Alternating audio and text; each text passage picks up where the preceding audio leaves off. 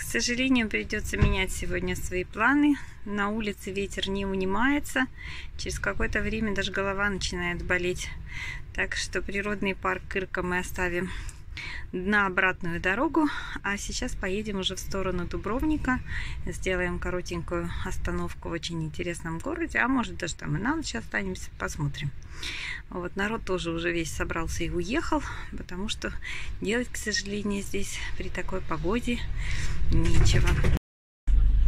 Да, сегодня 1 апреля, и Саня меня уже разыграл. Ночью сушилось белье, и не было закрыто дверца, эм, как мы говорим, в наш подвал. Такое большое помещение под кроватью высокое. И мы поехали, и такой странный какой-то шум. А он говорит, кто-то, наверное, залез, там подвал было открыто, открывает, и говорит, точно, вот кошка сидит рыжая. Я бегу смотреть ту рыжую кошку, он меня обманул. Никакой кошки, конечно, там нет. Вот это просто шумело окошко. Вот так, с 1 апреля.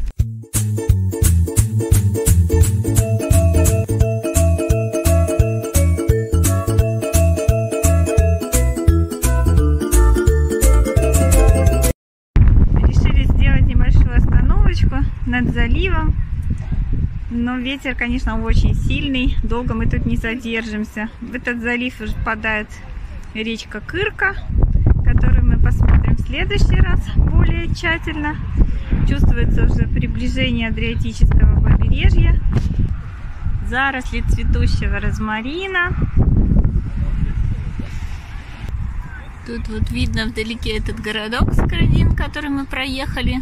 К сожалению, там негде даже было припарковаться. Но вот видно, что там сколько яхт на 700 жителей. Так что место очень такое популярное. Море рядом. Оставляем эту ветреную площадку и едем в сторону городка Стон. Очень много здесь оливковых деревьев уже ближе к морю. Куда ни глянешь, тут чуть-чуть, там чуть-чуть. И масло продают. Да, но несмотря на то, что дымка и пыль на стеклах, потому что ветер все-таки оставляет следы, хотела показать, что вот Южная Далмация прям практически наш любимый Пелопонес. Если вот сильно не знать, где ты находишься, то можно и перепутать приближаемся к морю, надо срочно спрятать шоколад в холодильник, потому что температура в вагончике уже такая под 30. Собака чувствует, что ее уже привезли на юг, начала активно линять, так что мы вот все примерно вот так выглядим, шерстяные-шерстяные. Вот такие заливные поля. Вот мы едем вдоль речки Неретва, а с другой стороны хотела заснять сады. Сейчас попробуем. И апельсиновые рощицы, и инжир, и оливки, абрикосы тоже видела. В общем, все, все, что хочешь тут растет на этой благодатной земле. Ну, вот мы поднялись над долиной. Речка Неретва течет дальше, скоро ее дельта. А воды реки активно используются вот в сельском хозяйстве. Видите, как здорово смотрятся растительные каналы вокруг садов. И вот эта плодородная долина остается внизу. Прочитала, что в реке и, и тут, в частности, в каналах активно народ ловит речного угря, и то он очень вкусный. Если удастся, попробуем. Так, ну у нас остановочка. Мы уже практически возле Адриатического моря. Нам сейчас нужно переехать на вот этот полуостров. Белишацев называется.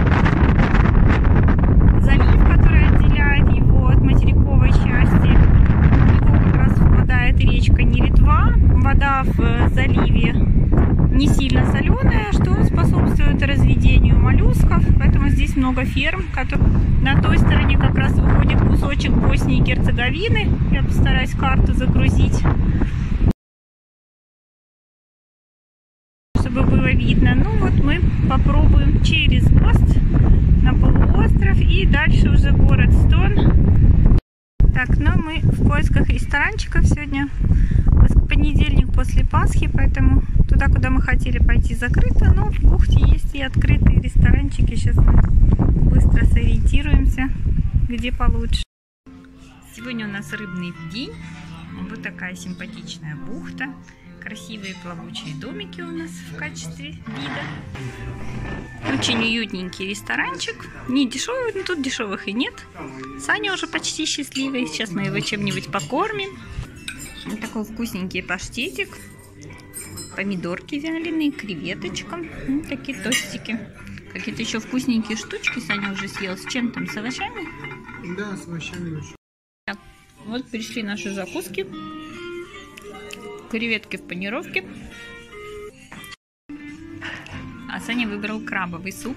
Насыщенный, эм, специфический, на мой вкус, но приятный. С рисом. Интересный. У Сани тунец завернутый в бекон. Точно? Да? Да, да. И такой же салатик, как у меня был. Вот, Фунтику принесли.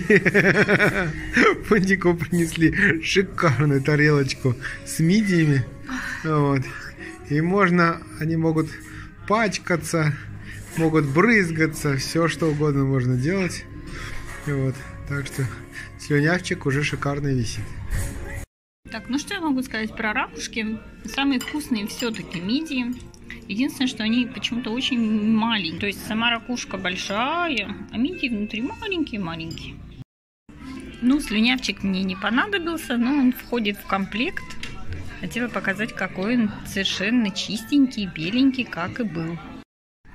Киса Равина. Сейчас он опять пытается меня обмануть 1 апреля. Говорит, что мы выпили бутылку воды из источника писаровина. Так, проверяем, что мы тут пили. Да, мисто користения. Из вора писаровина. Все, Да, все точно. источник Писаровина. Десерт, десерт у нас, как обычно, в одном экземпляре, в одно лицо. Это у нас шоколадный тортик. Синоптики обещают, что завтра этот ветер все-таки закончится, и мы можем показать окрестности. Вот мы приехали к месту нашей сегодняшней ночевки. Уютная бухточка. Свободная у нас парковка сегодня. Кемпинг, Кемпинг, к сожалению, который рядом открывается только с 1 мая. Ой, какой ветер!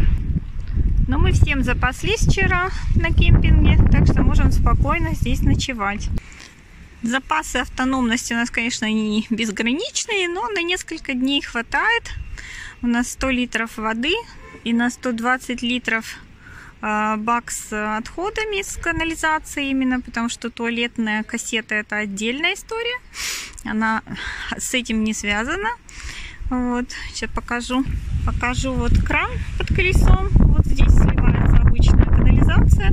Есть специальные места на кемпингах, где это разрешено делать. А кассета туалетная сливается отдельно, тоже в специальных местах. Ты ее как бы несешь, там выливаешь, споласкиваешь, как бы ничего не видно, в трубу вылил и красота. Для электричества есть там аккумулятор и розетка к нему, так что завтра я смогу спокойно свои полдня поработать.